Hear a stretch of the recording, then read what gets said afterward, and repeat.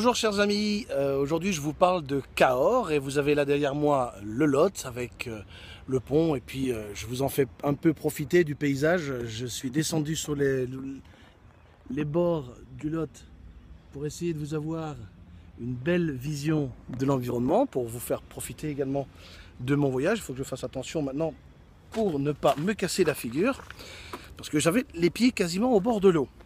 Je reviens tout juste d'une conférence que j'ai euh, mené pour une grosse entreprise où j'ai bien entendu parler de l'optimisme et euh, du leadership positif et comment arriver à communiquer son leadership auprès euh, de ses collaborateurs. Et l'une des questions qui m'a été posée en fin de conférence est très intéressante à un point où j'ai envie de le partager avec vous parce que c'est une question qui, qui est souvent posée. Que faire en tant que dirigeant, que faire en tant que leader? Ou que faire face à des gens qui résistent au changement?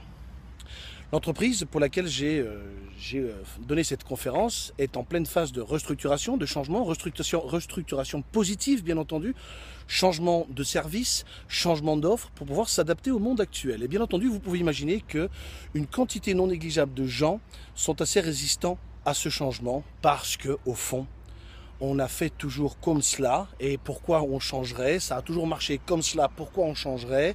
Enfin voilà, des difficultés de sortir de la zone de confort. Quoi. Donc vous voyez, euh, vous voyez le problème, vous le comprenez. Donc euh, la question est la suivante, c'est que en général, globalement, on accepte tous que rien n'est acquis dans la vie. D'ailleurs, on se le dit, vous la connaissez cette, maxime, rien n'est acquis, acquis dans la vie, et on est tous relativement d'accord sur ce fait que il peut nous arriver des tuiles, rien n'est certain. En revanche, quand il s'agit de l'emploi, des gens semblent en effet comme accroché et rivé à ces valeurs que ça ne doit pas changer. Moi, j'ai été embauché pour faire ce métier, il est hors de question de changer. Et c'est alors que j'ai répondu la chose suivante. Bien entendu, ce n'est pas la réponse clé, mais c'est une des, idées qui, permet d'aller vers une réflexion et d'aller vers un dialogue. Imaginez vos collaborateurs devoir faire leur tournée en 4L comme ils le faisaient dans les années 70. Accepteraient-ils aujourd'hui, puisque ils, sont sur un principe que c'est mon métier, il ne faut pas le changer, mais qu'en revanche, tous les outils qui vont à côté, on a accepté le changement de technologie, c'est-à-dire qu'aujourd'hui, on est tous dans des voitures confortables, modernes, euh, de ce temps. Est-ce que nous devons peut-être proposer à ces gens qui sont résistants au changement, en fait, de reprendre la voiture avec laquelle ils ont commencé leur emploi? Ça peut être une 4L ou une Peugeot 404, vous voyez un petit peu le style eh bien, puisque vous avez été embauché avec ça, continuez à rouler avec ça jusqu'à la fin de votre carrière. Je pense que peu de gens seraient d'accord avec ce principe.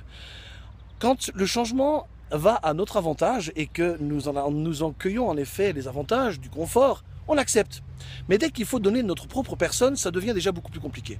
D'où l'intérêt d'aider ses collaborateurs à développer une certaine autonomie face au changement, une autonomie face à la positivité du changement. Qu'est-ce que ça va leur apporter de plus? Quelles sont leurs compétences aujourd'hui qui vont servir l'entreprise, mais en même temps leur métier? Et si en effet leur métier doit se modifier, pour ne pas dire changer, sans pour autant être tout à fait autre chose, le monde change. Et ceux qui ne l'acceptent pas verront les choses se passer devant eux et ne comprendront pas pourquoi ils se font dépasser. Voilà le principe, c'est qu'à un moment donné, le changement, ça doit venir aussi de nous. Il faut pouvoir accepter que le monde évolue et il n'y a rien de figé ni d'acquis dans le monde dans lequel nous vivons et encore plus aujourd'hui qu'auparavant. Le monde a toujours bougé. Toujours, dans toute l'histoire de l'humanité, il y a toujours eu des révolutions, où que ce soit, dans toutes les sociétés, dans toutes les cultures. Et si nous n'acceptons pas et ne nous adaptons pas à ces changements, il ne faudra pas s'étonner qu'on reste un petit peu sur le quai alors que le train s'en va. Voilà. Mais c'est aller chercher le positif dans le changement. Le changement, en général, quand il n'est pas accepté, c'est qu'il est aussi souvent lié à des peurs, à des questions auxquelles il n'y a pas de réponse. Et il est important de dialoguer afin de découvrir quelles sont ces peurs, afin d'apaiser les esprits. Ça aussi, c'est très important. Dialoguer. Ne pas imposer sa vision, mais essayer d'amener les gens avec vous dans votre vision. Dialoguer, entendre leurs peurs, identifier les raisons qui alimentent ces peurs et rassurer. On a tous besoin d'être rassurés, et c'est pareil pour les collaborateurs ou pour votre entourage. Allez, je vous dis simplifiez-vous la vie et soyez heureux, et je vous dis à demain. Ciao, ciao.